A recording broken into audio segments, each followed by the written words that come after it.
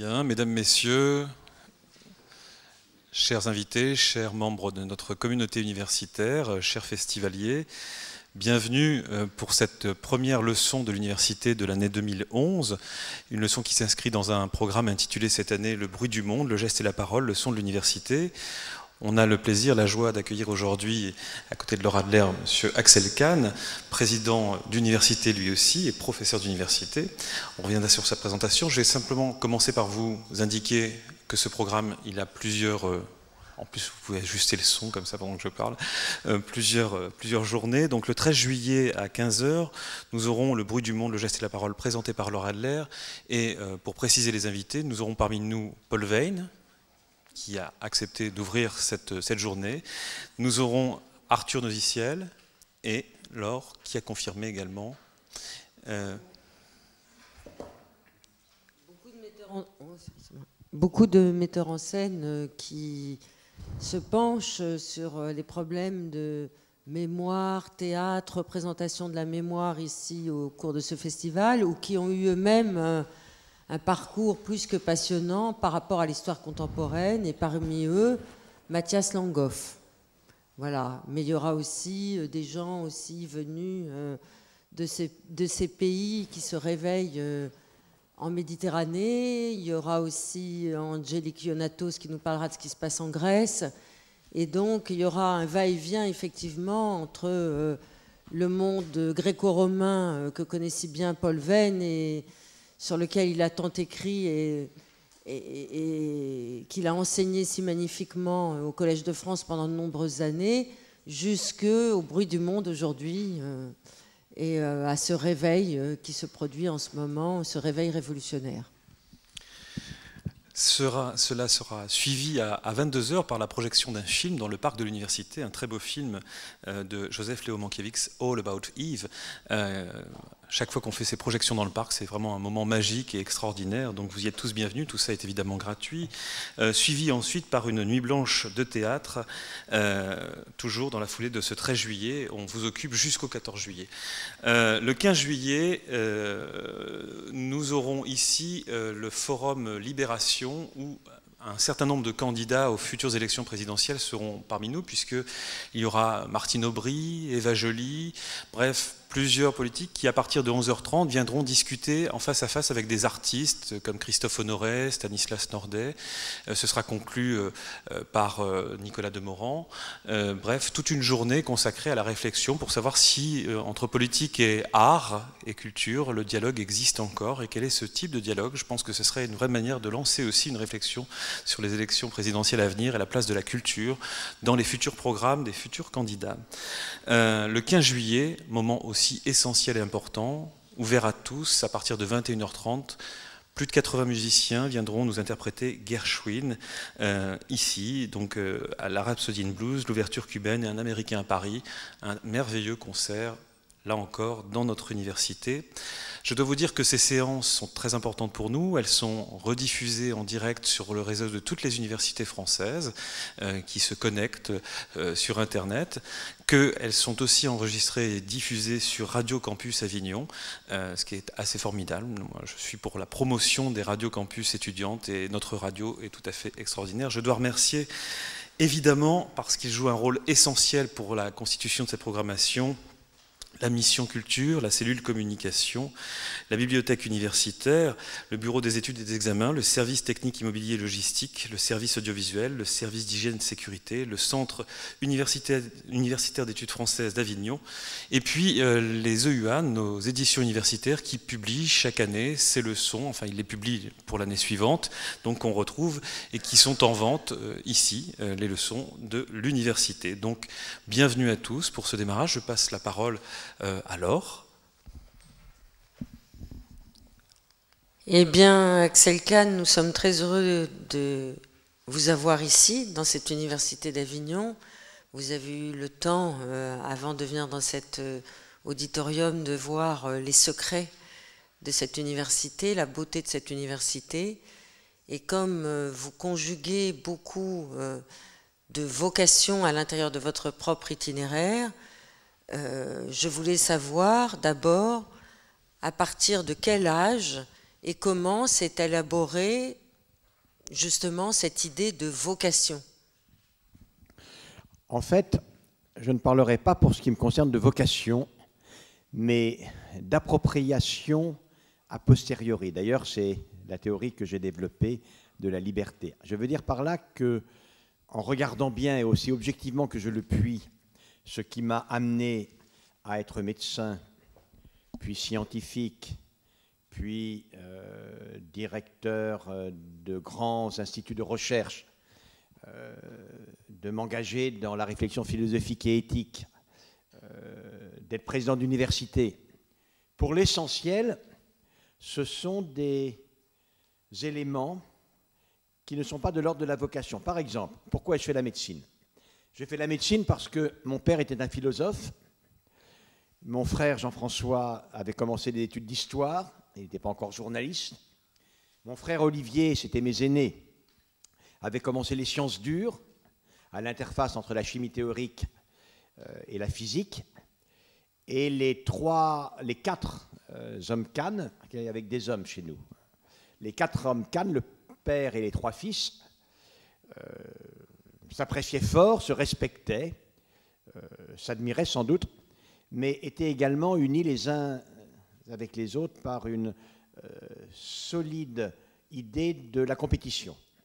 Si bien que, admirant le philosophe, euh, l'historien, euh, le scientifique dur, je n'ai pas vu ce qu'il me restait à choisir que la médecine. Donc j'ai fait la médecine comme ça, va donc pour la médecine. Puis après, j'ai beaucoup aimé. Assez tôt, je me suis rendu compte que je voulais m'orienter vers un exercice scientifique, le plus rationnel et scientifique possible de la médecine. J'ai donc fait de la recherche, mais parallèlement à une intense activité de soins. J'ai tout fait en médecine. J'ai même été chirurgien, réanimateur. J'ai ouvert des thorax dans lesquels on avait logé des balles de pistolet. J'ai vraiment tout fait. Euh, et vous avez dirigé admirablement le centre de santé municipal de Malakoff, où je réside, et vous avez laissé un très grand souvenir. Absolument. J'ai même été médecin de dispensaire. J'ai soigné toute la municipalité communiste de Malakoff. Euh, nous, les, Malakoffiaux, nous pensons encore à vous. etc. Donc, euh, j'ai une assez solide expérience. Pour, pour quelle raison je me suis engagé dans la réflexion éthique et puis ensuite plutôt dans la réflexion plus philosophique, même euh, dégager un peu des questions scientifiques C'est que Compte tenu de la nature de l'enseignement de mon père, de mon frère Jean-François, et puis de mes goûts, je m'étais rendu compte que la génétique avait une susceptibilité particulière euh, à subir les affres du rapt par les brigands de l'idéologie. Et essayant d'être un grand généticien, un bon généticien, d'enrichir ma discipline, cela m'a montré l'évidence de ce qu'était ma responsabilité, certes d'enrichir la génétique, mais également de contribuer à la défendre contre tous ceux qui voulaient en saisir la substance pour essayer de consolider leur idéologie de stigmatisation que je combattais. Donc j'ai essayé d'être un généticien enrichissant ma discipline et de me porter au créneau également de ceux qui la défendaient contre les brillants que je combattais. Alors avant d'en venir euh, à la génétique et à toutes ses possibilités, à toutes ses limites, à toutes ses transgressions, euh, je voudrais qu'on parle de votre sens de la responsabilité.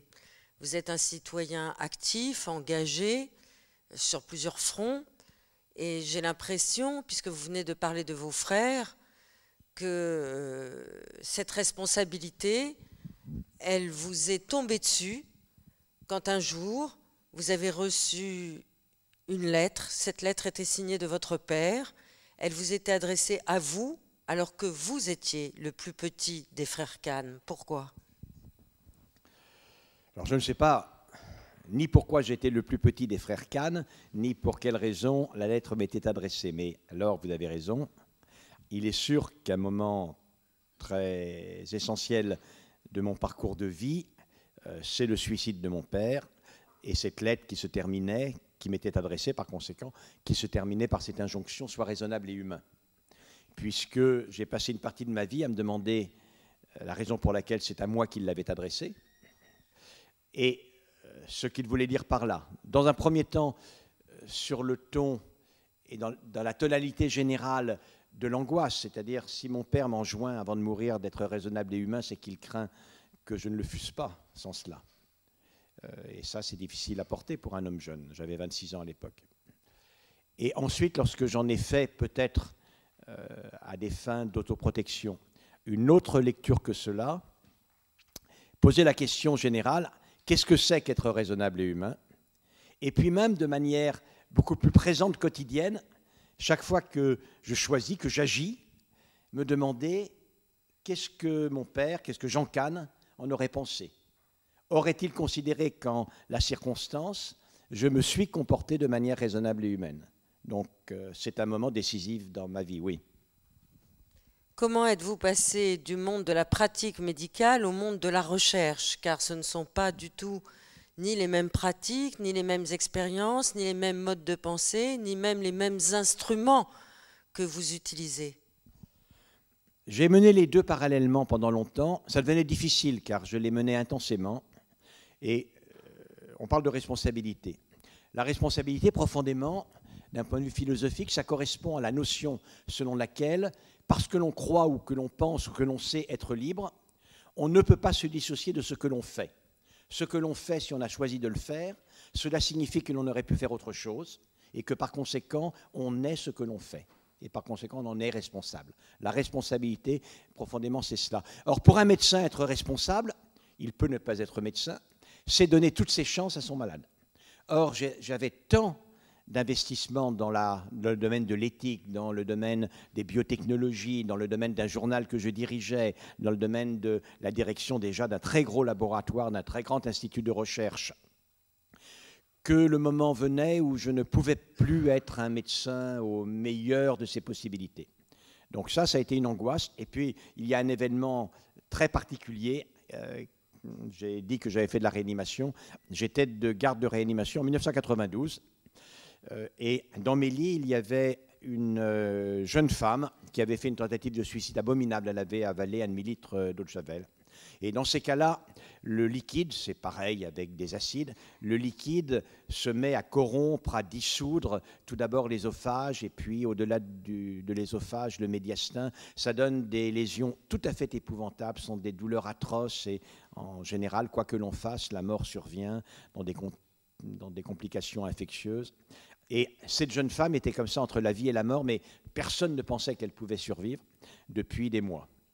Et une nuit de garde, par conséquent, j'avais beaucoup, beaucoup, beaucoup, beaucoup, beaucoup travaillé. La garde avait été très agitée. Je me suis couché, je crois, à 3h, 4h du matin. J'étais totalement épuisé. Et une demi-heure après que je me suis couché, ou une heure après, on est venu me réveiller parce que cette jeune femme allait mal.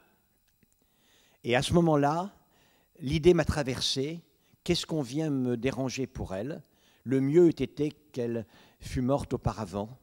Euh, je n'aurais pas à me lever. Et en même temps que cette pensée me traversait, je me suis rendu compte qu'elle était totalement incompatible avec la responsabilité d'un réanimateur.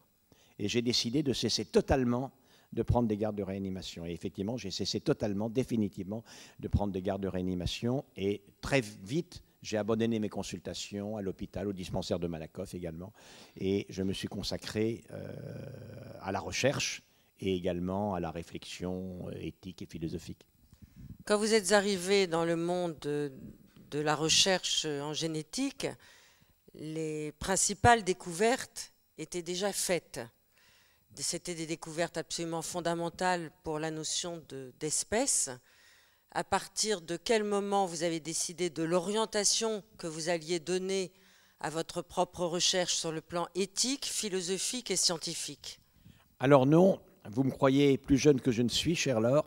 Quand je suis arrivé en médecine, quand j'ai terminé ma médecine, les principales découvertes en génétique étaient nullement faites. Le génie génétique n'existait pas euh, et les connaissances étaient extraordinairement rudimentaires. Euh, en fait, j'ai commencé à faire de la recherche dans le domaine de l'étude des maladies génétiques, mais pas en étudiant les gènes, en étudiant le produit des gènes, c'est-à-dire les protéines. Euh, une maladie génétique, en général, euh, est une altération d'un gène qui conduit à l'anomalie en quantité ou en qualité d'une protéine. Celle-ci joue un rôle important dans l'économie d'une cellule et il s'ensuit des désordres variés. Et moi, j'étudiais ces désordres variés au niveau de ces briques que sont les protéines. Et puis est apparu dans les années 70-72 le génie génétique, euh, le génie génétique, avec son développement très rapide, a été accessible pour étudier aussi la génétique humaine, si bien que j'ai continué à mener ce type de recherche, non plus au niveau des produits des gènes, mais au niveau de ce dont ils étaient le produit, c'est-à-dire les gènes eux-mêmes. Et dans les années 80, parce que cela a été accessible en génétique euh, humaine, je me suis lancé dans cette voie. De la même manière, travaillant sur ces maladies, je me suis intéressé à l'étude de leur traitement. C'est la raison pour laquelle je me suis intéressé aux perspectives de la thérapie génique. J'ai continué à travailler sur les cancers et les leucémies, mais en particulier au niveau des gènes. Je travaillais sur les anomalies des systèmes de métabolisme euh, de consommation intracellulaire des aliments, des nutriments, la nutrition, j'ai continué à le faire en regardant comment les gènes étaient contrôlés par la nature de ce que l'on mangeait, etc., etc. Voilà quel a été euh, le cheminement. Mais finalement, vous n'avez jamais dissocié votre pratique de médecin, même si vous ne la pratiquiez plus de votre propre recherche scientifique. Non, je suis profondément médecin, il n'y a pas de doute. C'est-à-dire que dans mes références intellectuelles, euh, il y a euh, ce qui vient de ma formation philosophique, euh, mais il y a aussi ce qui vient de mon profond rationalisme philosophique et scientifique. je suis profondément rationaliste, et ce qui vient également de toutes les perspectives que j'ai rencontrées en médecine.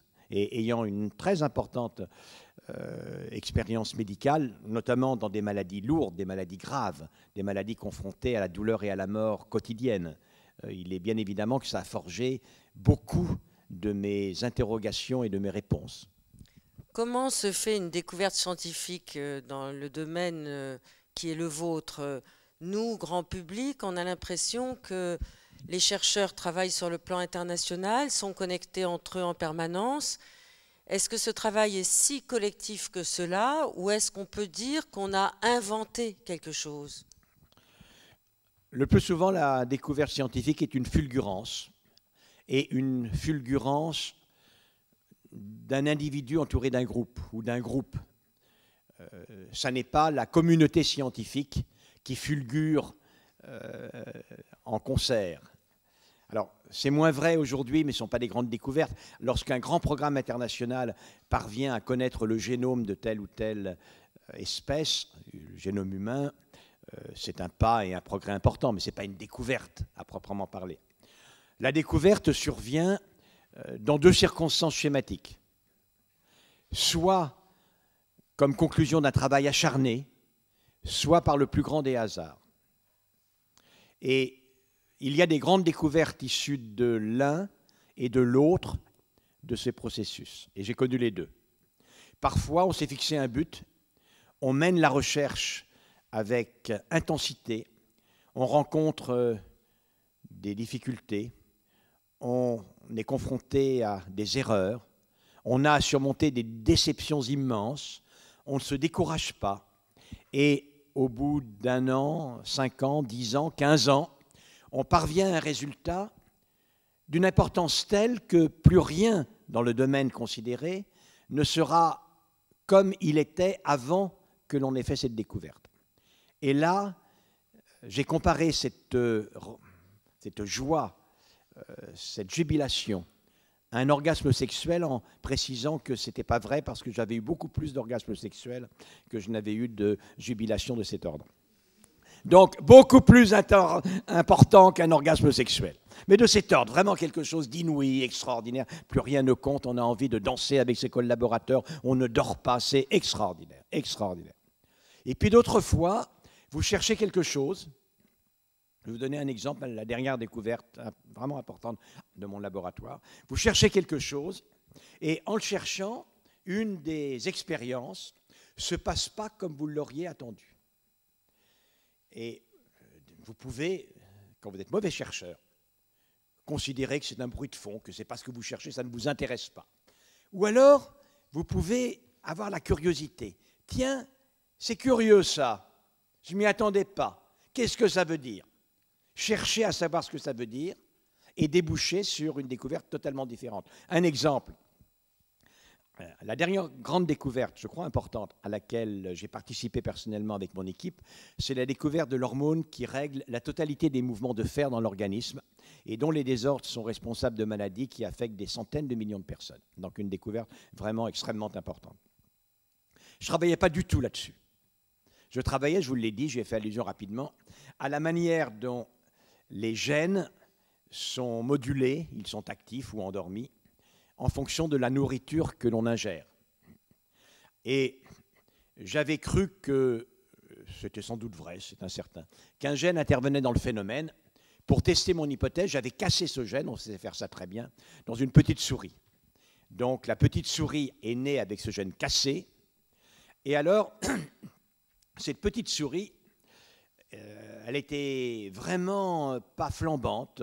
Les petits souriceaux étaient tout palos il n'avait pas de poils et il mourait. Alors ma collaboratrice est venue me voir en disant c'est pas du tout ce que l'on pense, regardez, euh, de toute façon on ne peut pas travailler parce que les souris elles ne vivent pas. J'ai regardé les petites souris et là ça m'a évoqué quelque chose. Ça m'a évoqué quelque chose qui est euh, les très jolies femmes euh, qui, à 15-16 ans, se mettent à avoir les ongles cassants, les cheveux qui tombent, qui ont ce teint pâle vert, on appelle ça la chlorose. C'est lié à ce que, euh, lors des premières règles, il se fait un déséquilibre et le fer manque. Et en l'absence de fer, il y a la pâleur due à l'anémie. Et puis, comme le fer est très important pour constituer ce qu'on appelle les fanères, les cheveux et les ongles, il y a ces manifestations. Et par conséquent, j'ai dit, écoutez, regardez voir comment sont les globules rouges de ces souriceaux. Les souriceaux étaient massivement anémiques, et les globules rouges étaient vides d'hémoglobine, c'est-à-dire qu'il n'y avait pas la synthèse de cette protéine qui nécessite le fer pour être synthétisé. J'ai fait doser le fer, le fer était quasiment indosable. Ces souriceaux manquaient cruellement de fer. Alors j'aurais dit, écoutez, faites-leur donc dans le ventre des piqûres, on ne pouvait rien leur faire bouffer à ces pauvres petits animaux, des piqûres d'un produit qu'on utilise chez les gens qui ont des chloroses et qui ne peuvent pas supporter par la bouche le fer. Et alors on a vu quelque chose d'extraordinaire. De jour en jour, les petits souriceaux sont mis à rosir, les poils se sont mis à repousser, on les voyait pousser devant nous. C'était extraordinaire et ils se sont portés très très très très bien. Alors on s'est demandé pour quelles raisons ces souriceaux, alors qu'on a cassé un gène censé intervenir dans le métabolisme des sucres, naissent-ils totalement anémiques? Et on s'est dit, s'ils naissent anémiques, c'est sans doute que l'on a cassé autre chose que ce gène. Donc on a regardé ce que l'on avait cassé, on a vu qu'une substance n'était pas là. Et on a fait l'hypothèse, c'est peut-être l'hormone de régulation du fer, dont on sait qu'elle existe depuis 60 ans, mais qu'on n'a jamais trouvée. Et on a fait des hypothèses, etc.. Et effectivement, on avait tout à fait par inadvertance cassé le gène codant l'hormone de régulation du fer. Et ça a été une découverte absolument fondamentale. Après, on a démontré que euh, cette hormone était vraiment impliquée dans toutes les maladies euh, impliquant le fer. Donc là, vous voyez, on dit en anglais serendipity, euh, ou bien résultat rationnel, mais on ressent la même jouissance dans un cas comme dans l'autre de ces succès. Est-ce que c'est de l'ordre de l'impensé qui devient pensable quand on fait une découverte de ce genre? Ou est-ce que c'est de l'ordre de l'intuition et de l'expérimentation? Dans le premier cas, c'est le penser euh, qui devient pensable et racontable. Dans le deuxième cas, c'est de l'ordre de cette curiosité en permanence aux aguets. Euh, celui qui est curieux de tout, qui voit tout ce qui ne correspond pas à ce qu'il attendait. Il y a chez les personnes, et c'est vrai dans un domaine euh, dont on va reparler, celui de l'art, cette curiosité extrême à tout ce qui est une variation par rapport à la norme. Être intéressé par la déviance par rapport à la norme et non pas par la perfection de répétition de la norme. Ça, c'est une caractéristique de l'artiste, mais c'en est une également du chercheur. Mais justement, ne peut-on pas dire que la recherche scientifique, telle que vous la pratiquez, s'apparente à une démarche artistique à la prise de risque, à l'inventivité, au ressourcement dans l'imaginaire On peut le dire. Et en réalité, euh, il y a deux formes de créativité principales que l'on appelle euh, la créativité dont le but et d'entraîner une émotion esthétique. Et il y a la créativité dans le domaine de la rationalité, la science, la science ou la philosophie d'ailleurs, parce qu'il y a deux types de rationalité. Il y a la rationalité qui peut s'énoncer à travers euh, une proposition scientifique qui peut être réfutable dans une considération popérienne classique, euh, ou bien il y a une parfaite rationalité qui aboutit à une proposition d'ordre métaphysique, philosophique, dont la caractéristique n'est pas d'être pas rationnelle. Une philosophie rationnelle est simplement insignifiante, tout simplement parce qu'elle ne se prête pas à euh, une démarche constructive, à un dialogue. Mais bien entendu, une proposition philosophique euh, ne peut se soumettre à la vérification expérimentale, à la confirmation ou à l'infirmation euh, ferme. Elle reste un objet en débat. Elle reste une contribution à un, débat. Et puis, à côté de ces deux poursuites, la poursuite métaphysique et la poursuite physique de la rationalité, il y a cette créativité très singulière dont la caractéristique est d'engendrer ce qui est euh, incontestablement c'est un débat important dans le cadre de l'art moderne. Ce qui est incontestablement l'une des caractéristiques de l'humain, c'est-à-dire l'émotion esthétique. L'émotion esthétique est très singulière, elle définit ce qu'est le beau, puisque est beau ce qui est considéré comme tel par un homme apte à le ressentir. Le beau n'existe pas avant qu'un homme ressentant le beau et éprouvant une émotion esthétique devant le beau euh, ne soit apparu. Si le cirque de Gavarnie, je prends souvent cet exemple, ou le Grand Canyon du Colorado est beau, c'est parce qu'on le trouve beau tant qu'on n'existait pas, il n'était pas beau du tout. Il ne représentait rien.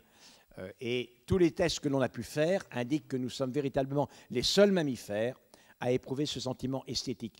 Et ce qui est très passionnant dans ces deux caractéristiques euh, de notre différenciation intellectuelle, psychique, de l'augmentation des capacités humaines, c'est-à-dire l'aptitude à créer de la rationalité et l'aptitude à créer de la beauté, c'est qu'elles sont l'une et l'autre très spécifiques de notre humanité et en très grande partie indépendantes l'une de l'autre. Et cette indépendance l'une de l'autre est extrêmement importante. C'est la raison pour laquelle, chez les personnes dont les capacités d'entendement sont altérées, l'art-thérapie est effectivement une thérapie. Chez des personnes euh, qui sont malades, qui ont des problèmes euh, de défaillance intellectuelle, maladie d'Alzheimer, grand vieillissement, euh, séquelles d'un accident, euh, retard mental important. En revanche, il y a possibilité d'avoir un accès amélioré à ces personnes à travers leur sensibilité esthétique par l'intermédiaire de l'art. Et il faut, pour qu'il en soit ainsi, que cela soit indépendant des circuits de la rationalité qui leur sont très largement non accessibles. Vous venez de citer euh, Karl Popper. En vous écoutant, on peut penser aussi à la philosophie d'Emmanuel Kant, à la faculté du beau. Est-ce que vous inscrivez dans une ligne philosophique aussi où vous incluez euh, Bergson et Bachelard? D'où vous venez et quel est votre socle philosophique qui vous fait avancer, pas seulement scientifiquement, mais aussi moralement et intellectuellement? Emmanuel Kant, qui est sans doute l'un des premiers philosophes à avoir philosophie sur le beau, était très singulier. Euh, il en va de la conception du beau par Emmanuel Kant, comme il en va de la conception de la dignité par Emmanuel Kant. C'est-à-dire qu'en réalité, elle a une caractéristique fantastique qui est une caractéristique hétéronome. Il n'y a pas d'autonomie dans la définition de la dignité, puisque dans la notion euh, de Kant pour la dignité, euh, ce que l'on fait entre deux adultes consentants peut être indigne, car il existe une définition qui existe en soi, qui est presque l'équivalent d'un impératif catégorique kantien définissant la dignité. Il y a évidemment euh, un rapprochement évident entre la notion hétéronome de la dignité chrétienne et la conception kantienne. Moi, je suis profondément persuadé que la dignité est un terme extrêmement important, mais qu'elle est purement autonome. La dignité, pour moi, a la signification qu'on ne peut pas discriminer les individus au plan de la dignité. En revanche, personne n'est amené à me dire ce qu'il est digne dans ce que je fais pour que je le reste. Cela, je le refuse totalement. Pour la beauté, Emmanuel Kant considérait que la beauté en soi existait, qu'elle était une caractéristique de notre humanité, et d'ailleurs, Il considérait qu'elle était tellement en soi que la vraie beauté résidait dans la nature et que toute la beauté artefactuelle était une dégradation de la beauté de nature, comme vous le savez. Or, je ne le crois nullement, bien entendu. Et la caractéristique de l'émotion esthétique est que, au départ, bien entendu, et d'ailleurs c'est une question d'une extrême difficulté de savoir pour quelle raison il en est ainsi. Au départ, elle est suscitée par la contemplation de différents spectacles de la nature, liés ou non liés à l'attraction sexuée, qui est un des éléments très importants, bien entendu, dans la perception de la beauté. Mais ensuite, l'on va éprouver une émotion esthétique pour la beauté d'une équation mathématique, pour la beauté d'une théorie astronomique, pour la beauté d'un énoncé philosophique, pour la beauté d'un tableau qui représente un être hideux. On va être éperdu d'admiration pour un autoportrait de Rembrandt qui montre Rembrandt peu d'années avant sa mort, alors même que très clairement, aucun des critères de son visage ne correspond aux critères de la beauté ainsi définie. C'est-à-dire que de la beauté de la nature, nous passons à la beauté supposée, à l'idée de la beauté de l'esprit de celui, de l'artiste, qui a réalisé l'objet. Et donc, bien entendu, on ne peut pas parler de la beauté indépendamment de la conception que l'on a d'un vaste champ de ce qui provoque les émotions, du spectacle de la nature à l'idée de la nature et à l'idée de l'artiste qui la représente. Vous êtes un homme Ça c'est vrai, ça je suis désolé. Je veux dire que ça j'y peux strictement rien en plus. Un éternel jeune homme. Et dans la pratique de votre expérience scientifique, vous vous affrontez aux nouvelles technologies, aux biotechnologies, euh, qui bien souvent ont affaire justement à la possibilité pour nous les femmes de transformer leur vie, voire leur destin, quelquefois au prix de leur libre arbitre. Quelles sont vos positions là-dessus? Au départ, les biotechnologies et la chimie a libéré la femme. Je veux dire qu'un des plus grands progrès dans l'histoire de l'humanité, c'est même la maîtrise par les femmes de leur fécondité. Il n'y a pas de doute. Et ça, c'est vraiment la chimie qui l'a fait. Et, et, je pense que, alors, considérer que l'on n'a pas encore saisi tout ce à quoi aurait dû aboutir cette maîtrise, c'est vrai. Mais nier qu'il s'agisse d'un moment absolument fondamental et d'une illustration totalement éminente du progrès, je crois que ça ne serait pas euh, lucide. Euh, les biotechnologies, maintenant, sont effectivement des biotechnologies qui euh, instrumentalisent peut-être le corps de la femme, ça c'est les mères porteuses, mais également l'embryon, en règle générale. Et la question qui se pose est la suivante. Quels sont les critères amenant à déterminer si un progrès scientifique et technologique, notamment dans le domaine de la procréation, est un progrès pour la femme et pour l'homme, ou bien est une menace? Euh, C'est typiquement l'interrogation éthique. Euh, ma conception du progrès est très claire, c'est que le progrès avec un grand P ne peut se dire que dès lors qu'il est un progrès pour la femme et pour l'homme, pour l'humain, on va dire. Et que par conséquent, un progrès technologique ou financier n'est pas immanquablement un progrès pour l'humain, comme chacun le sait. Euh, de ce point de vue-là, je ne garde aucune confiance et je ne me réfère absolument pas pour apprécier ce qui est, d'un point de vue moral, licite et illicite, au caractère naturel et non naturel de ce que l'on fait. Comme je vous l'ai dit, rien n'est plus non naturel que de bloquer les sécrétions hormonales de la femme pour lui permettre de contrôler sa fécondité. Je considère que c'est un progrès considérable. De la même manière, donner à des femmes qui viennent d'accoucher euh, des produits incertains que la chimie a fabriqués ou bien que l'on a isolés euh, par euh, purification de substances normalement produites en quantité infinitésimale par pénicillium pour éviter qu'elle ne meure de fièvre puerpérale. Ce n'est pas du tout naturel et c'est un progrès absolument considérable. Donc il n'y a aucun rapport entre le naturel et ce qui est licite ou ce qui est illicite. En revanche, la frontière fondamentale du licite et de l'illicite, c'est la frontière humaine. Je vous ai dit que le progrès est pour moi, le progrès avec un grand P, le progrès est pour moi celui qui est un progrès pour les conditions d'épanouissement de l'humain.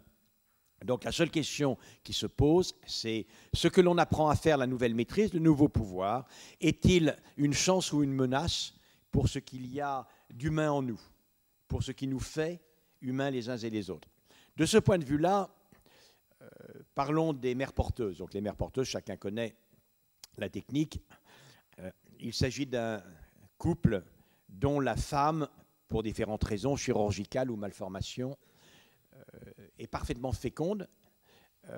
elle a des ovaires qui ovulent, mais elle n'a pas de matrice qui permet de mener à bien une gestation, d'être enceinte et d'accoucher.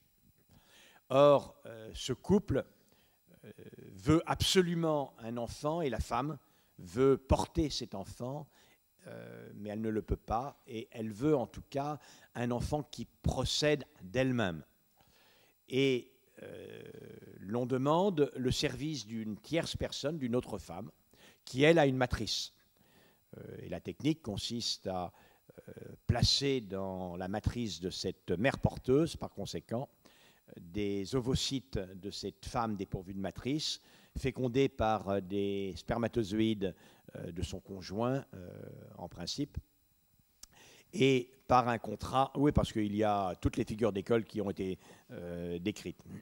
Il y a même un cas où une femme seule, ménopausée, a demandé à recourir à une mère porteuse, d'ailleurs elle a eu des enfants, deux jumeaux aux États-Unis, et pour que ça reste dans la famille, elle a fait féconder les ovules d'une autre femme par euh, le sperme de son frère. Comme ça, ça restait dans la famille. Voilà. Vous voyez, on peut, on peut tout rencontrer. Par conséquent, cette mère porteuse euh, doit par contrat s'engager à abandonner cet enfant et à le remettre au couple géniteur. C'est ça la règle des mères porteuses. Euh, comment traiter de cela? En principe, le mouvement de l'âme et du corps qui aboutit au don ne peut être euh, refusé. Il a une valeur morale évidente. Euh, l'homme ou la femme qui se précipite dans la maison en flammes au risque de sa santé et de sa vie pour sauver des enfants, euh, risque de faire le don de sa vie pour sauver des enfants, et on considère que c'est héroïque. De la même manière, cette femme qui, veut, qui accepte de porter un enfant pour la femme qu'elle aime, afin qu'elle puisse avoir cet enfant alors qu'elle ne le peut pas. Euh, c'est un mouvement de l'âme et du corps, je l'ai dit, euh, qu'on ne peut que louer. Cela étant dit, ça ne se passe pas comme ça dans l'immense majorité des cas. Euh, il s'agit d'un contrat commercial par lequel assez souvent des couples homosexuels masculins en Californie et en Floride, c'est très souvent le cas, euh, bien évidemment, les couples homosexuels sont très demandeurs de recourir à cette, les couples homosexuels masculins sont très demandeurs de recourir à ce type de technique, euh, louent les services d'une femme qui propose ces services non par affection, pour, non par commisération euh, pour ce couple stérile, mais parce que c'est un business relativement important. Et dans ces conditions-là, le contrat est très léonin, puisque les contrats, euh, il y en a que l'on connaît bien puisque c'est une pratique habituelle. En Floride, en Californie, en, Ukraine, en Inde, euh, il y a des cliniques spécialisées dans les mères porteuses. Les femmes s'engagent par conséquent euh, à ne pas avorter, même si la loi de leur pays le permet, évidemment, ça c'est pas possible, c'est pas leur petit. elles s'engagent également à ce que l'on fasse un test génétique et elles s'engagent à avorter si le test génétique montre qu'il y a une anomalie importante, quoi qu'elles en passent par, ailleurs. Elles s'engagent à ne pas refuser ce qui sera nécessaire pour optimiser les conditions de naissance de l'enfant, césarienne, épisiotomie la plus large possible, et elles s'engagent enfin à remettre l'enfant. C'est-à-dire elles s'engagent en réalité euh, à euh, naître que des utérus sur pattes, des matrices vivantes pendant neuf mois, et de s'opposer absolument à ce que naisse un sentiment de type maternel entre elles et le fruit de leurs entrailles, pour euh, utiliser un langage connoté. Or, euh, cette affection d'une femme pour ce qui pousse en elle n'est pas constante, mais elle existe. Le nombre de femmes, euh, moi j'en ai l'expérience avec mes filles en tout cas, qui m'ont dit combien c'était loin d'être insignifiant ce qu'elles avaient ressenti et combien elle s'était attachée à cet enfant avant même qu'il ne soit né, montre que cette obligation contractuelle de l'abandonner à la naissance n'est pas simple. Et par conséquent, je ne considère pas que l'introduction dans le circuit marchand de la fonction reproductrice des femmes, in fine, soit un progrès. Donc ce progrès technique n'est pas, pour moi, un progrès pour la femme et pour l'homme.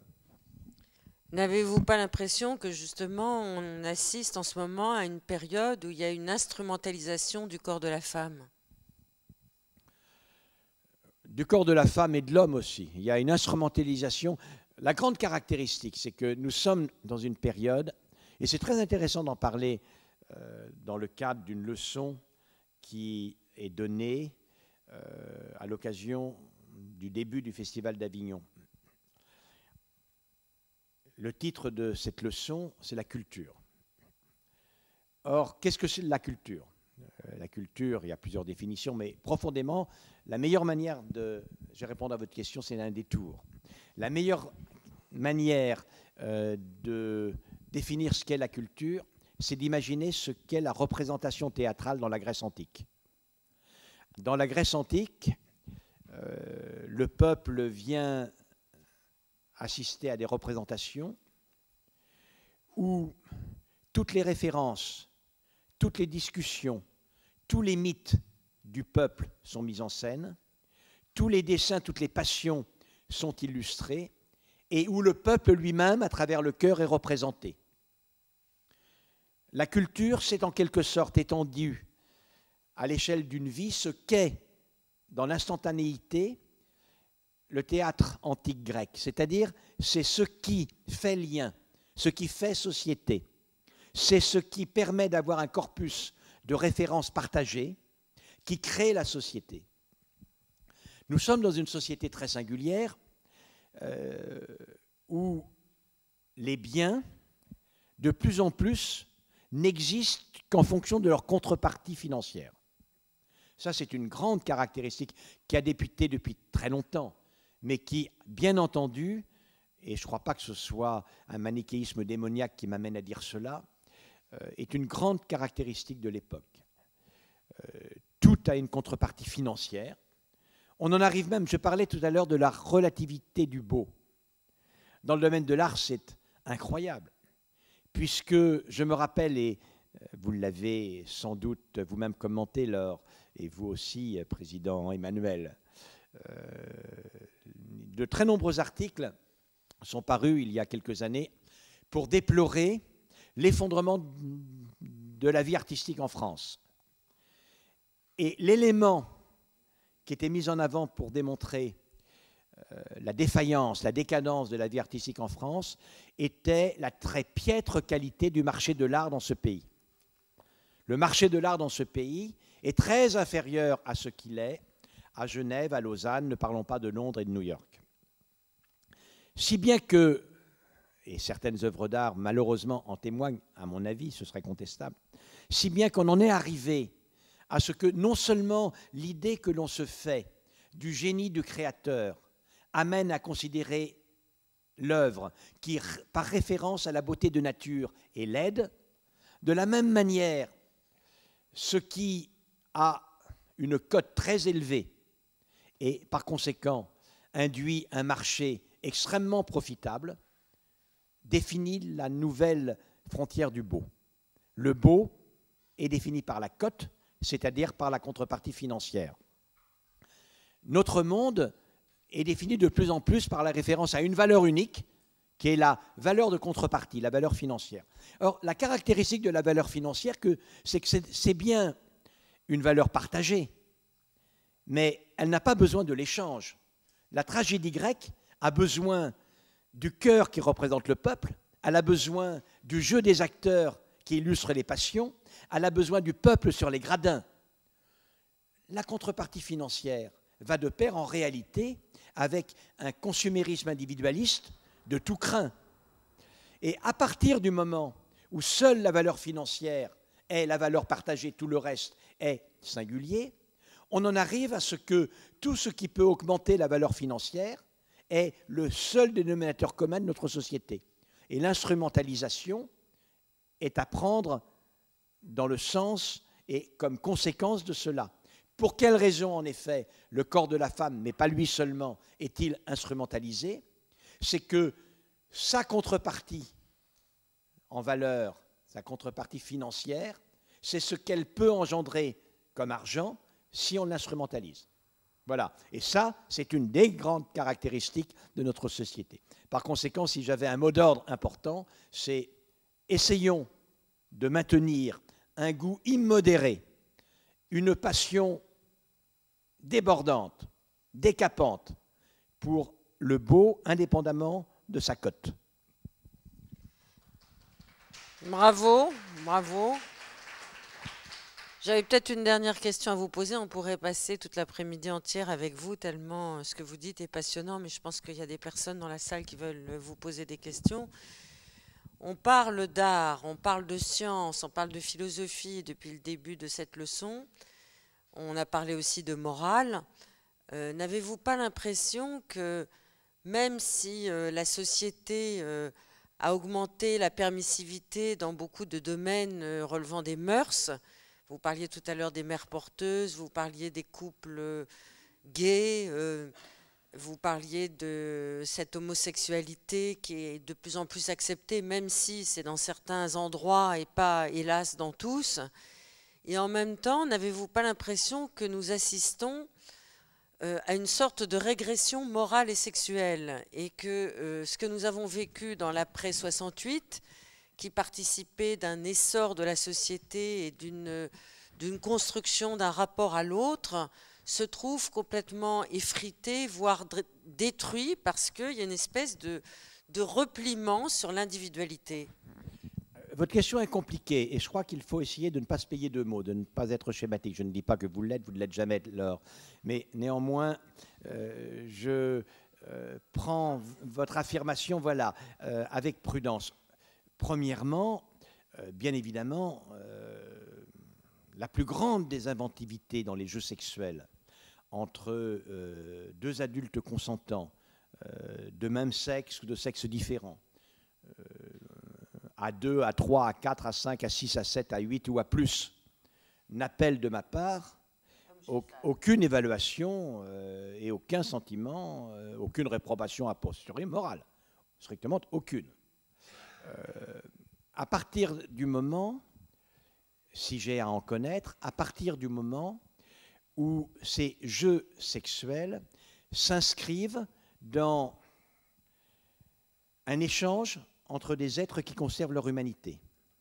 Lorsque l'autre est le sexe qui fait jouir, euh, le vagin dans lequel on s'introduit, et cesse totalement d'être une personne dont les sentiments vous importent, lorsque la sexualité est totalement instrumentalisée, elle est aussi le moyen de jouir naturellement, mais lorsqu'elle ne devient plus que cela, indépendamment de la considération pour la plus grande complexité de l'être, alors il y a régression, car c'est simplement l'altérité qui s'efface derrière une sexualité qui la nie. C'est ça qui est euh, contestable.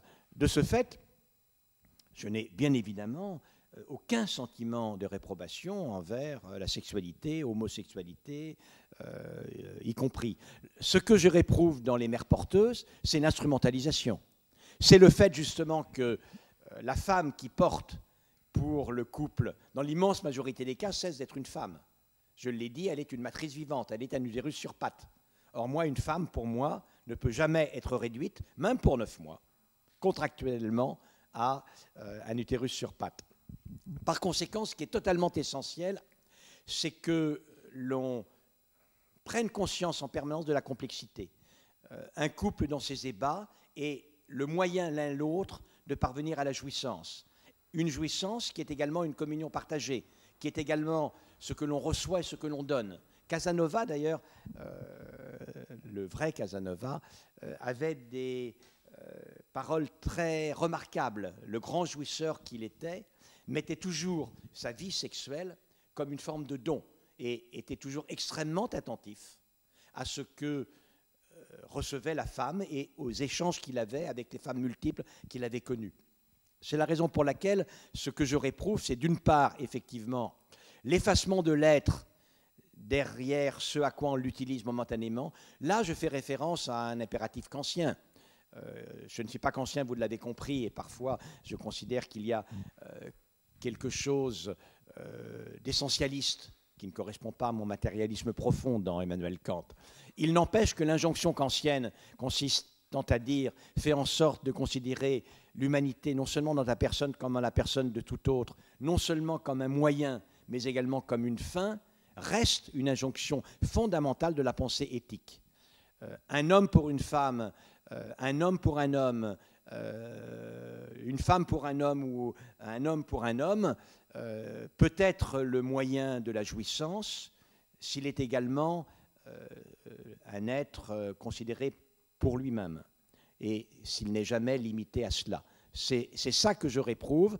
Et le gros problème et la raison pour laquelle vous avez raison d'être inquiète, c'est que le sentiment d'enrichissement mutuel, y compris par la jouissance, n'a pas de contrepartie financière. Alors qu'en revanche, la qualité de la jouissance que je vais vous offrir, vous pouvez le payer. Et c'est pour ça que l'on s'intéresse au deuxième élément de mon affirmation et pas au premier. Alors, dernière question. Vous êtes euh, un des présidents de l'université les plus engagés euh, en France. Que pensez-vous aujourd'hui de l'état de l'université et quel avenir? Moi, je suis un amoureux fou de l'université. J'ai dit un jour que, à mon âge, on ne pouvait pas parler de démon de midi, mais que je pouvais évoquer mon, mon démon de minuit, et que mon démon de minuit, euh, la belle pour laquelle je me pâme, euh, c'est l'université. J'ai une totale passion pour l'université. Je trouve que l'université, surtout celle qu'elle est devenue, euh, l'université naît d'un contexte compliqué où elle n'a pas toujours été un lieu de civilisation, elle a toujours été un élément important de la civilisation. C'est-à-dire, c'est entre plusieurs euh, où du 1006 naît une proposition nouvelle, enrichie, qui est un enrichissement collectif au corpus culturel. C'est ça profondément le euh, processus de la civilisation. Dans le monde que l'on a dit et que vous avez vous-même stigmatisé à travers vos questions, Laure Adler, quel est le lieu où normalement, c'est pas toujours comme ça, mais quel est, le lieu, où normalement le philosophe s'enrichit du contact avec le mathématicien, qui est curieux de savoir ce que sont les motivations du médecin, qui n'est pas totalement dédaigneux de ce que fait le pharmacien, encore que, mais il n'est pas toujours dédaigneux de ce que fait le pharmacien, et euh, qui par conséquent échange en tout cela qui savent que l'université se doit d'être la promotion de toutes les formes de la créativité, la créativité scientifique, la créativité métaphysique, la créativité artistique, qui considèrent que son rôle, en effet, c'est de montrer la richesse de cette promotion. Le seul lieu où cela persiste à l'heure actuelle dans notre monde moderne, c'est l'université. Donc l'université, aimons-la.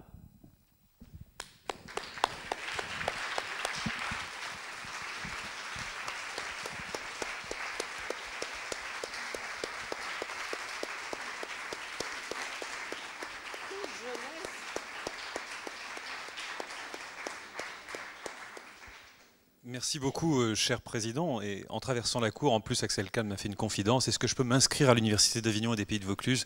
Je crois que, comme tous les conférenciers qui sont venus ici, cette université est la vôtre, cher Axel. Euh, est-ce qu'il y a quelques questions dans la salle? Grand moment de silence.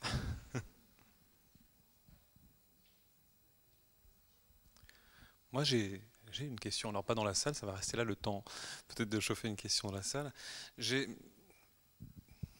En vous écoutant, je ne sais pas pourquoi j'avais cette image dans la tête de, cet épisode d'une série télévisée où on voit des chirurgiens esthétiques et on voit Catherine Deneuve venir les consulter. Je ne sais pas si vous avez eu ce scénario, m'a semblé très étrange, mais raconte beaucoup de choses. Elle vient voir euh, ces deux chirurgiens esthétiques en leur demandant quelque chose d'assez insensé, selon beaucoup de monde. Euh, elle vient avec les cendres de son mari, de son compagnon, et dit voilà, je voudrais euh, qu'on mette ces cendres dans des prothèses mammaires et qu'on me grève ces prothèses mammaires pour avoir effectivement ces cendres toute la fin de ma vie avec moi. Et je trouve que c'est une voilà, on parlait tout à l'heure de science et de, progrès, et, je trouve que cette histoire est tout à fait sidérante parce qu'elle ne fait que raconter aussi quelque chose qui, qui fait que nos, valeurs sont systématiquement euh, euh, en oscillation. Euh, on parlait de l'autre, de la curiosité, et là, le partage ne devient plus partage, mais réellement possession. Et Léo Ferré, qui avait si bien décrit ce qu'est l'amour, mon bel amour, ma déchirure, prendre conscience qu'effectivement la culture, c'est prendre aussi conscience qu'on ne pourra jamais posséder l'autre totalement, nous montre que la science tend, par ses progrès quelquefois, à raviver aussi ces valeurs de possession extrême. Oui, vous avez raison, mais là, je ne crois pas qu'il s'agisse d'un vrai bouleversement. Ce que je veux dire par là, c'est qu'après tout, la science était moins évoluée qu'elle n'est lorsqu'un certain général Boulanger allait se faire sauter la cervelle sur la tombe de sa dulcinée euh, qui était morte. Vous vous rappelez le film Manon des Sources où euh, euh, Auteuil, qui joue l'amoureux, se plante dans la peau, je crois que si je ne me rappelle plus ce que c'est, une épingle à nourrice avec des cheveux de la belle ou quelque chose de la belle, etc. C'est-à-dire que ce mythe euh, de ce que la passion euh, finit par totalement annihiler euh, l'altérité est un phénomène tout à fait normal, à vrai dire, puisque l'amitié, puis l'amitié amoureuse et puis l'amour, c'est tout de même la constitution d'un univers mental et psychique qui est en partie partagé. La grande question est de savoir, en partie partagé, jusqu'où. Et la grande difficulté, c'est faire en sorte que ce partage, cette communion, ne gomme pas l'altérité qui persiste. L'altérité doit totalement persister. Euh, cet esprit de possession, par ailleurs, il est à l'origine, avec le sentiment machiste, de toutes les formes de jalousie absolue. L'autre ne peut pas exister sans moi, je ne peux pas exister sans l'autre, et si l'autre, par conséquent, me trompe, c'est une trahison, c'est de toute façon le bouleversement du réel, et de ce fait, je suis prêt à tout, y compris à le tuer ou y compris à la tuer. C'est-à-dire que ce sentiment qui est très joliment illustré par le désir d'avoir les cendres euh, de son mari dans ses prothèses mammaires n'illustre la modernité que parce que ce sont, il s'agit de prothèses mammaires. Alors, est-ce que la salle a une question? Euh, oui, Bonjour.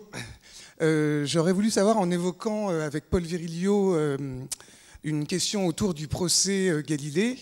Euh, Paul Virilio affirmait que le procès Galilée en soi n'était pas un scandale. Ce qui est un scandale, c'était le résultat du procès.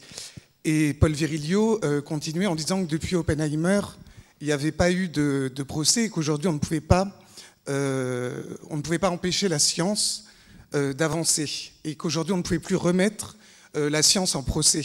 Donc j'aurais voulu avoir votre avis, s'il vous plaît. Alors, tout d'abord, il faut se rappeler le contexte du procès de Galilée. Euh, Galilée, euh, euh, homme remarquable, d'un caractère épouvantable, a travaillé avec des mécènes qui ont été jusqu'à la fin, en réalité, les ecclésiastiques, y compris le futur pape. le, le cardinal euh, Barberini, euh, qui deviendra le pape Boniface, qui sera pape au moment du procès de Galilée, a été son soutien extrêmement actif euh, auparavant.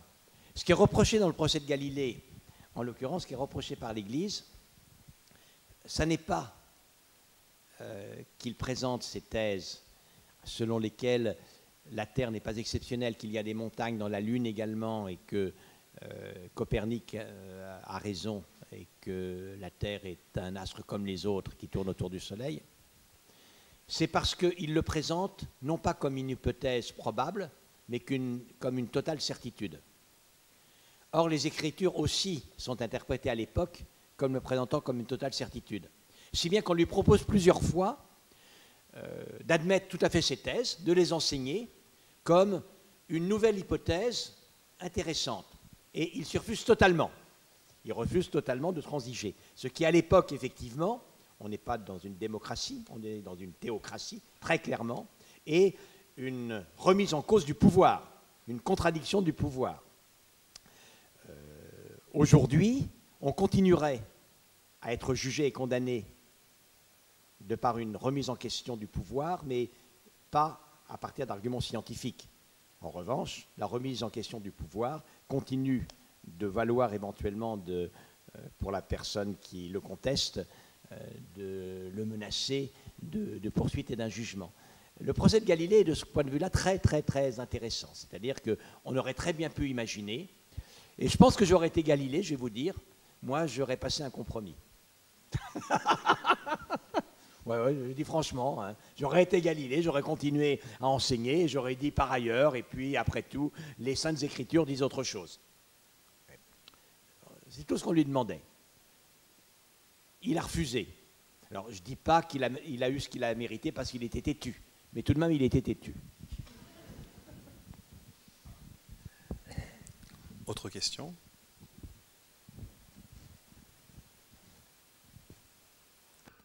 Alors, deux d'un coup. Monsieur Bonastre et Madame Costa. Alors, Madame Costa. Est-ce que vous pouvez passer?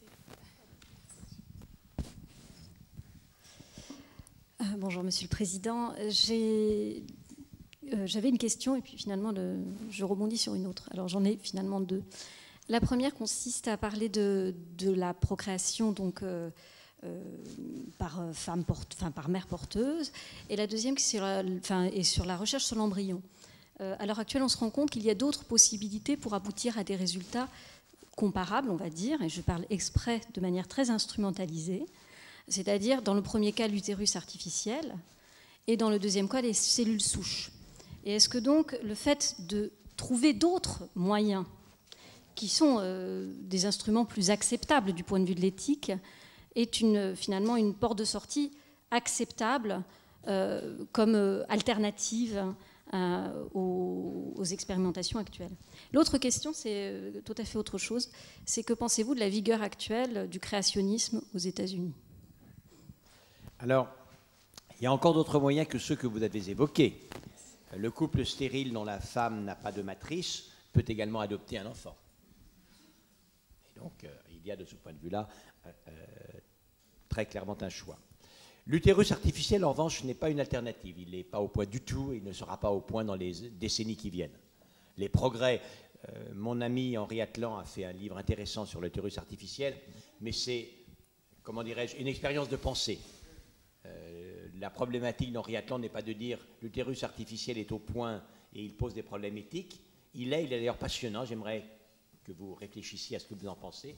Si l'utérus artificiel existait, cela serait-il une chance ou une menace pour les femmes Euh, Une chance, les hommes et les femmes seraient à égalité. Chacun contribuerait dans la procréation par leurs gamètes et ensuite la gestation se ferait euh, de leur côté.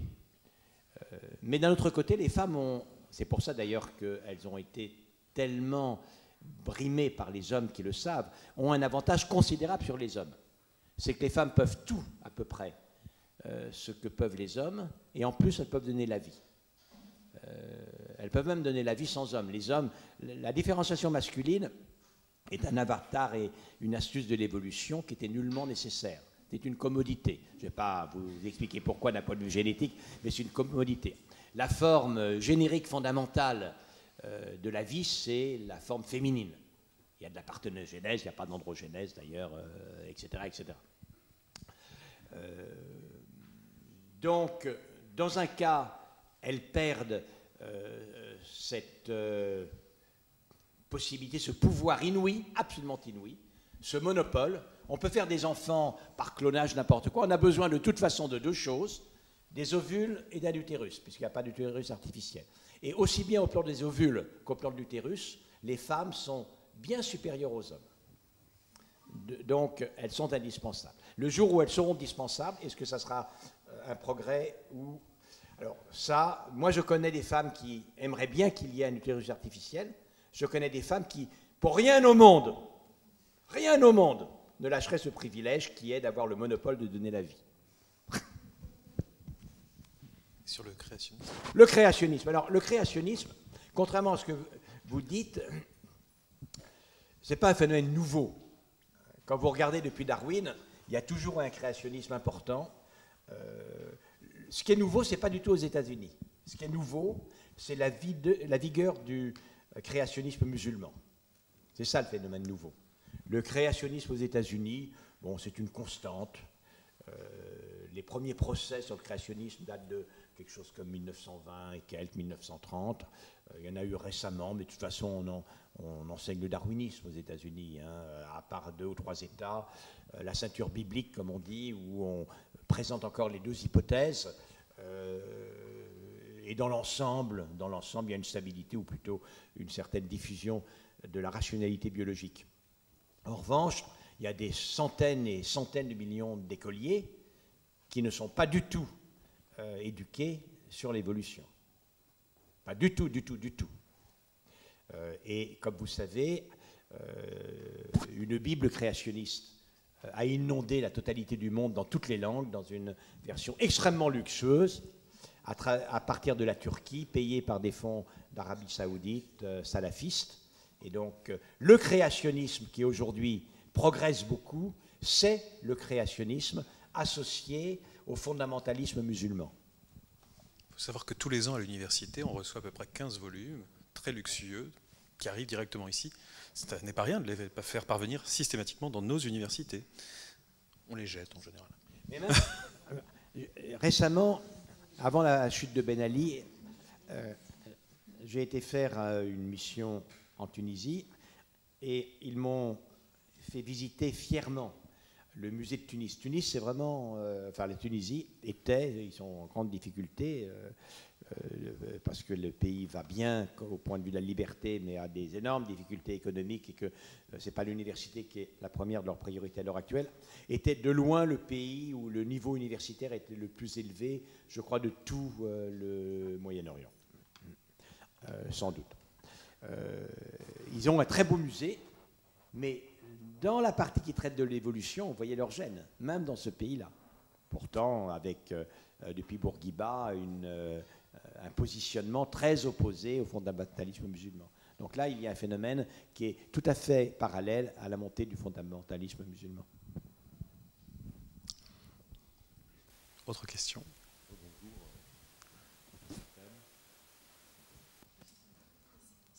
ben Moi, je vous entends. Hein. Bon, oui, ça va beaucoup mieux.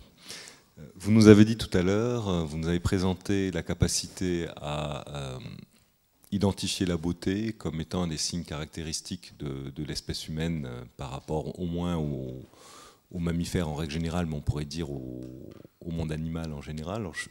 J'avais envie de faire un parallèle avec les capacités langagières qui, pendant très longtemps, ont été placées comme signes discriminants de l'humain par rapport au reste du vivant. Or, il me semble depuis quelques années que nous découvrons dans le monde animal hors humain euh, de plus en plus de capacités langagières, ce qui nous amène à nous reposer la question est-ce que c'est si discriminant de l'humain? Est-ce que vous pensez que sur l'esthétique, la, capacité à reconnaître la beauté, nous pouvons avoir le même style de découverte dans le futur? Alors, tout cela, c'est de toute façon assez souvent une affaire de degrés il n'y a pas de langage animal qui soit aussi développé, aussi riche, euh, aussi combinatoire que le langage humain. Mais les oiseaux, pour ce qui le concerne, voire même peut-être les primates, certainement les cétacés, arrivent à échanger euh, avec des émissions sonores qui ne sont pas monotones, qui ne sont pas aléatoires, qui arrivent à synchroniser l'une sur l'autre et qui évoquent un échange utilisant cette émission sonore. Euh, d'autres animaux ont une gestuelle euh, sémiologique, une euh, gestuelle qui est une vraie sémiotique. Même les insectes. On croit que les, les drosophiles, par exemple, sont capables d'indiquer euh, aux mouches qui sont restées euh, près de leur point de départ, où se trouvent des sources de nectar, les abeilles, euh, où se trouvent les sources de nectar par un vol, par une, danse informative particulière.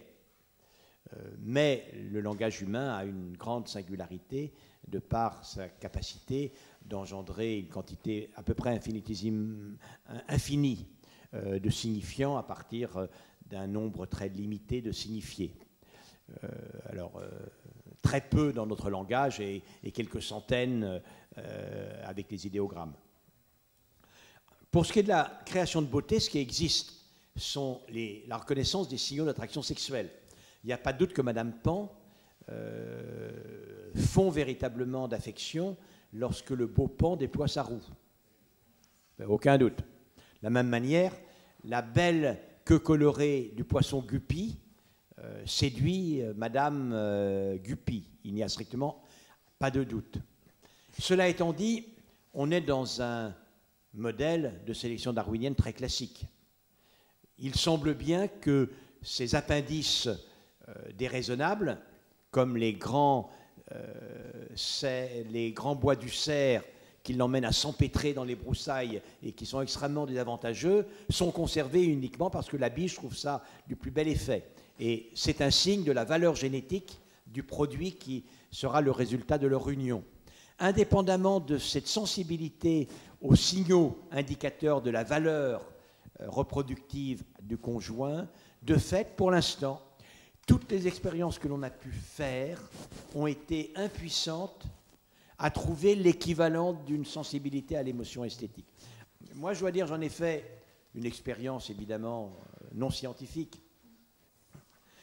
Je dis souvent, lorsque je fais des conférences sur la beauté, c'est un des sujets sur lesquels euh, je m'exprime souvent, car c'est un sujet qui me passionne, dans le pays où j'ai mes chevaux, je suis cavalier, j'ai donc des chevaux, qui est la racine familiale, il y a une période très particulière qui est la période euh, du début du mois de mars.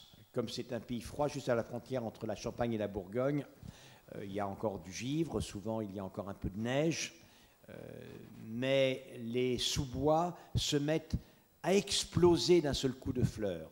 Ce sont tout d'abord, c'est d'abord un blanchiment extraordinaire avec des fleurs magnifiques, des fleurs blanches avec des petits grains jaunes, et puis ensuite apparaissent quelques pervenches, et puis sont les jonquilles, par millions et par millions. Euh, et se promener à cheval dans ces sous-bois, avec cette nouvelle mousse verte, avec euh, ces parterres de fleurs, euh, c'est prodigieux. Cela étant dit, je n'ai jamais pu constater une modification de comportement de mes chevaux et des chiennes qui m'accompagnent dans ces circonstances. J'aurais bien aimé, je les ai observés très très intensément, mais moi je fonds et elle pas du tout. Donc il est sûr en tout cas que mon sentiment esthétique, euh, ma sensibilité à l'émotion esthétique n'est pas la même que la leur.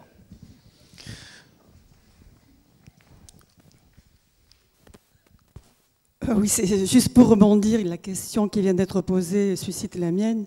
J'ai envie d'aller un peu plus loin.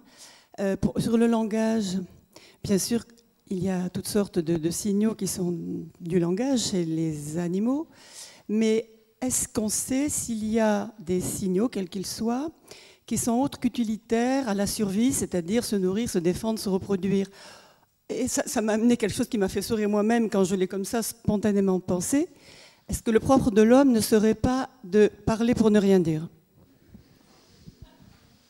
Alors, l'homme au départ, il a euh, développer son langage comme moyen euh, d'enrichissement de la capacité de euh, contact. le langage fait société lui aussi. Le langage est un moyen extraordinaire d'influencer l'autre et d'être influencé par lui. Donc c'est un élément de vie sociale tout à fait extraordinaire.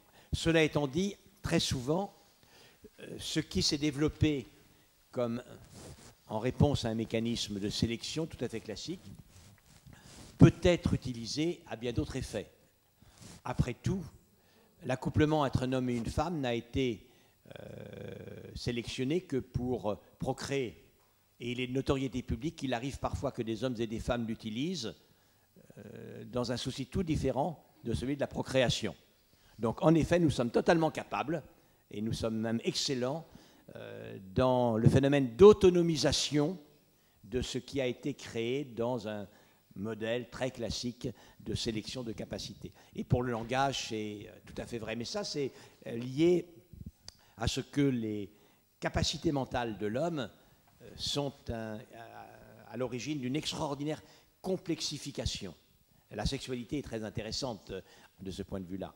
On parlait tout à l'heure de l'homosexualité, une question importante qui se pose, c'est celui de l'homosexualité animale. Est-ce qu'on connaît une homosexualité animale? Alors jusqu'à il y a peu de, temps, je pensais qu'on ne connaît pas d'homosexualité animale. Et on, on, connaît peu. Ce qu'on connaît, ce sont des animaux qui se trompent. C'est-à-dire qui... voilà. Mais un animal qui a une préférence nette pour des animaux du même sexe. Alors, il y a un exemple. Il y a un exemple euh, que connaissent bien les bergers, ce sont des boucs. Il y a des boucs qui, curieusement, semblent avoir un goût immodéré pour euh, euh, leurs semblables. voulez-vous?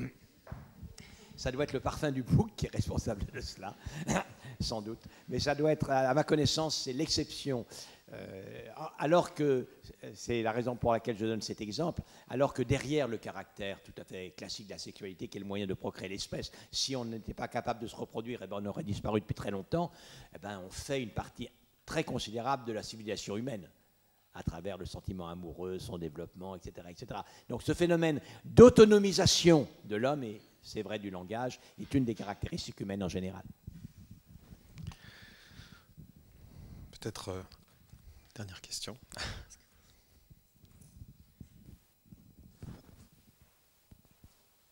Bonjour. Je voulais vous poser une question sur la recherche.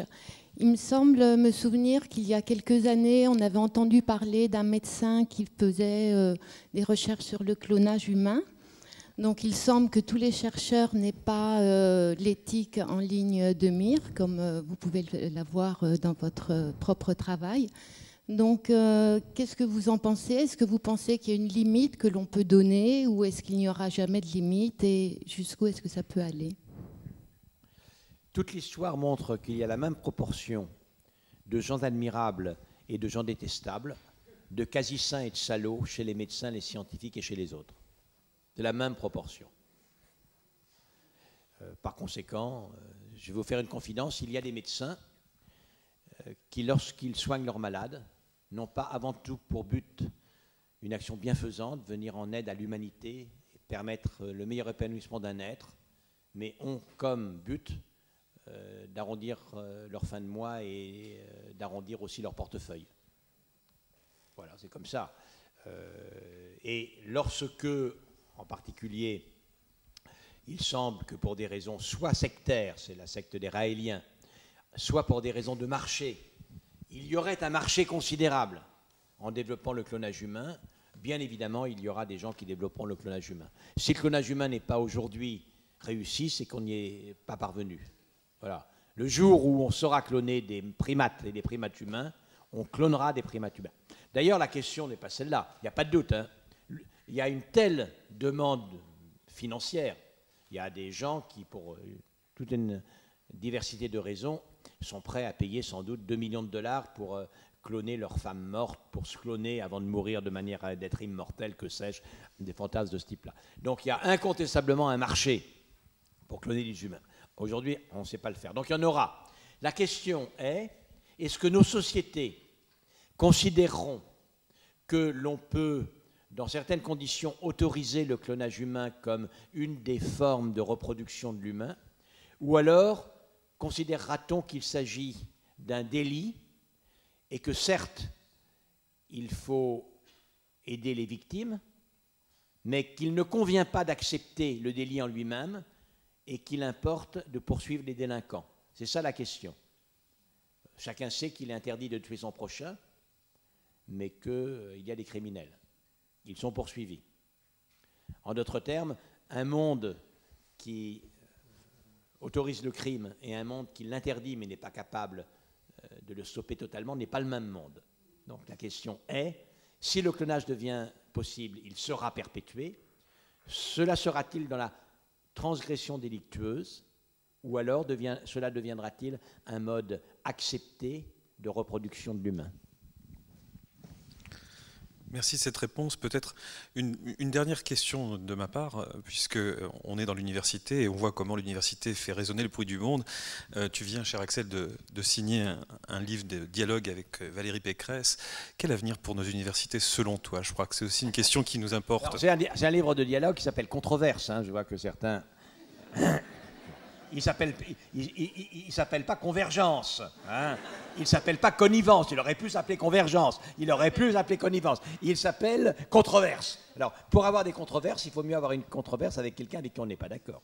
Est-ce que vous la regrettez pas? Euh, C'est un peu tôt.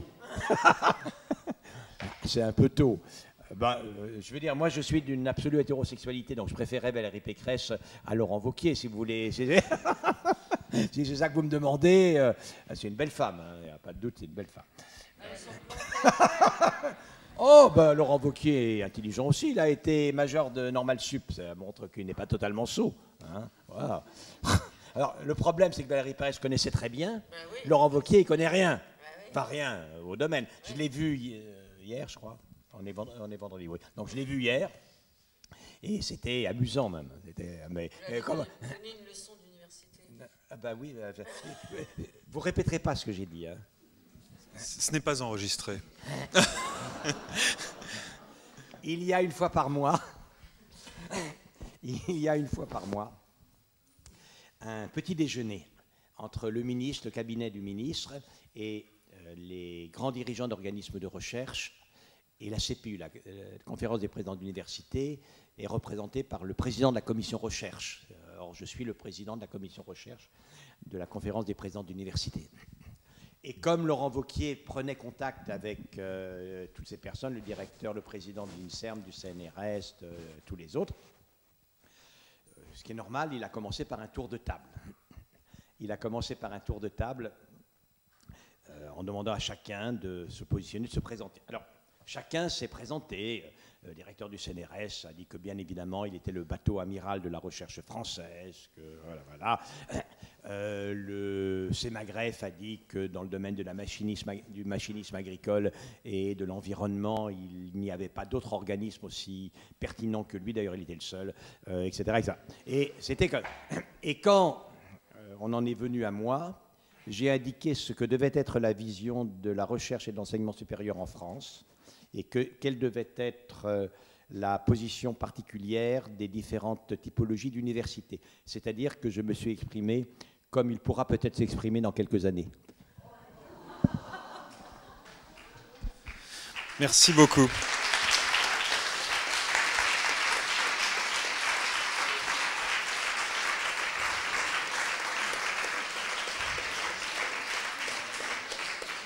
Merci beaucoup alors, merci beaucoup Axel Kahn, merci beaucoup Daniel, merci Jules, merci également Myriam et Damien. Et rendez-vous donc euh, le 13 juillet pour notre leçon,